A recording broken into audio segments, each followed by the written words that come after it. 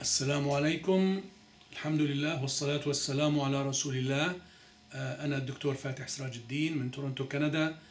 أتابع في آه، محاضرة آه، السيطرة أو التغلب على مرض السرطان وما هي الخطوات التي تسبق المرض الذي الذي يصيب الناس بشكل دائم؟ أكرر أن عيادتي في تورنتو من 28 سنة وهذه المحاضرة ليس من شأنها أن تنقل الناس من من من أن يعني يتركوا آه، علاجاتهم وينتقلوا إلى علاجات آه، جديدة التي نتكلم عنها فهذا العلاج يحتاج إلى طبيب يقوم به وليس شيء آه، انتقال عفوي وكيفي كما يريد الناس. هناك تكلمنا في الماضي عن الخضار القلوية. اليوم سنتكلم عن الخضار والفواكه التي تمنع امتداد السرطان. يعني السرطان يكون عمال يبني نفسه معتمدا على ما, آه، ما يتواجد داخلي من الإنزيمات وما إليه. ثم يصل إلى لحظة تنتهي هذه الإنزيمات فيبدأ يبحث حوله إلى منطقة يست- يستورد منها أكل يعني أكله اللي هو تغذيته. من من فيتامينات وموارد. فيبدأ يبحث فيجد مثلا بجانبه مجرى دم. فيبدأ يبحث عن عن- تمديد دم خط دم من الدم إلى السرطان. هذا الشيء اسمه انجيوجينيسيس آه في بعض الخضار التي نأكلها وبعض الفواكه التي نأكلها آه، فيها مادة تمنع هذا الانجيوجينيسيس. هلا هذه الخضار طبعا كما قلنا سابقا ليس عملها ان أن تقوم بهذا العمل، عملها أن تغذي الجسم. لكن من إلى الجانب الآخر فإنها تقوم وتساعد الجسم على السيطرة على ت- آه، أشياء تنتشر فيه من التآليل من ال ال ال ال الأشياء اللي تنمو داخل الكولون أو اي أي نتوءات تخرج في الجسم وكأنها غير طبيعية. فالجسم من شأنه أن يزيل هذه الأشياء إذا وجدت آه، المادة. فالهدف من من هذا العلاج إني أن نعطي الجسم دائما هذه المواد التي سأذكرها حتى يقوم الجسم بالدفاع عن نفسه. وهذه الخضار من الأفضل هو عصرها وشربها تازة. يعني بنفس الوقت التي تعصر فيه لأن فيها آه، زيوت طيارة قد تفقدها وتفقد قيمتها ال- ال- العلاجية وبعض القيم آه، الذ- الذاتية. إنها هذه هذه الأدوية ال- ال- ال- هذا الأكل أو هذه الخضار من أفضل الوقايات ضد السرطان. يعني الرجل أو المرأة الذي يستعمل مثل هذه المواد بشكل دائم يعني يقال أنه يستحيل السرطان بعدها أن أن يكون جزء من حياته ي- يتداخل معه. آه، فهذه ال- ال- ال- ال- المغذيات أو هذه هذا الأكل فيه ألياف تتفاعل مع السرطان. فيه آه، م- م- موانع أو إنزيمات تمنع دخول السرطان إلى الجسم. من هذه ال- ال- ال- الخضار هي مثلا ال- ال- الشاي الأخضر الفريز ال- ال- ال- التوت ال- الأسود والتوت الأحمر وال- والبرتقال والجريفون والليمون والتفاح وال pineapples اللي هو الأناناس والكرز وال ال- ال- ال- العنب الأحمر. هذا إلى جانب الفواكه. طبعا هناك الخضار.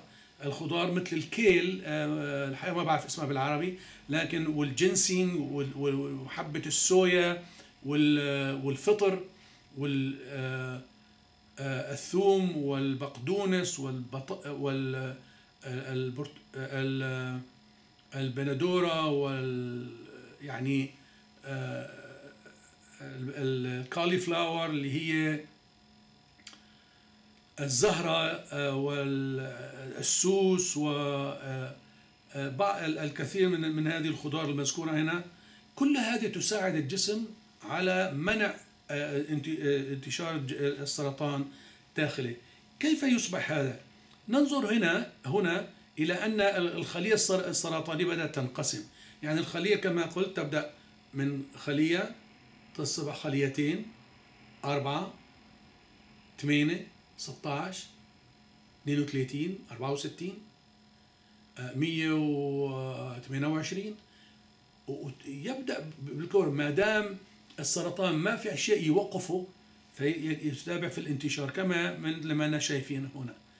فيبدأ يرسل بعض لما يستنزف يوصل إلى درجة يستنزف كل كل موارده الداخلية. فهلأ الحين هذا السرطان إذا ما أجاه أكل حيموت. وكثير أيام لما بيساووا آه، لرجل أو امرأة ماتوا وفتحوا جسمهم بيشوفوا كثير من الأشياء السرطانية التي بدأت ولم آه، تصبح سرطانا بسبب أكل أو بسبب علاج أو ما إليه.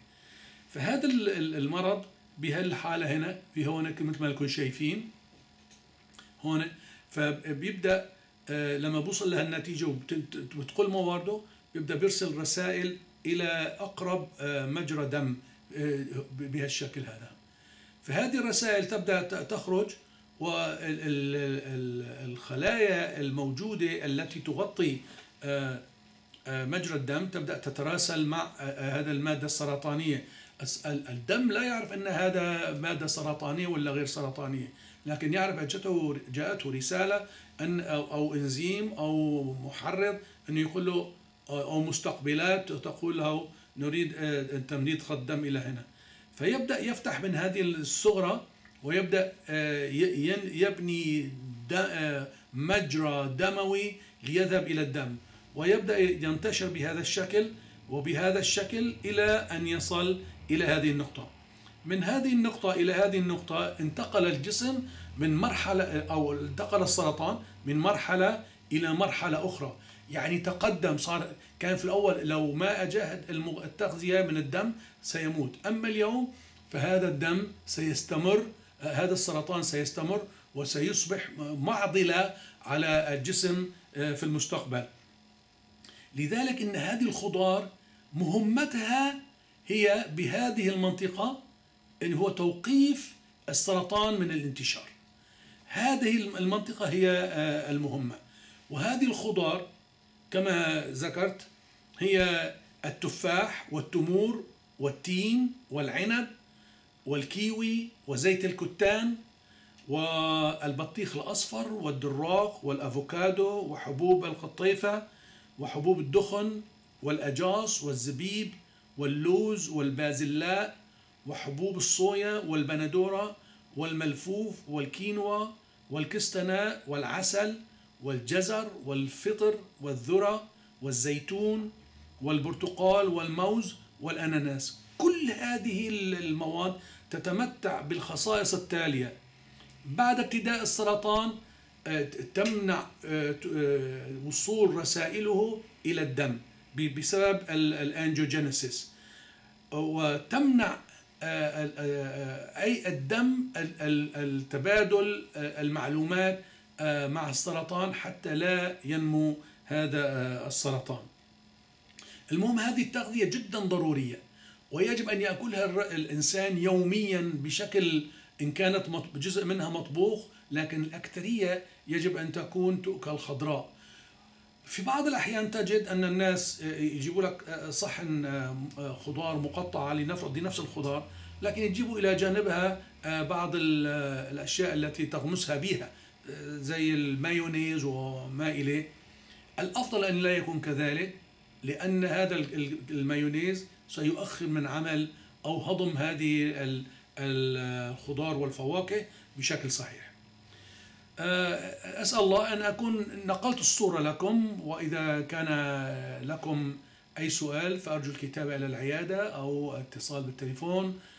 أنا الدكتور فاتح سراج الدين أشكركم وأسأل الله أن أكون توفقت أن نقلت لكم الصورة.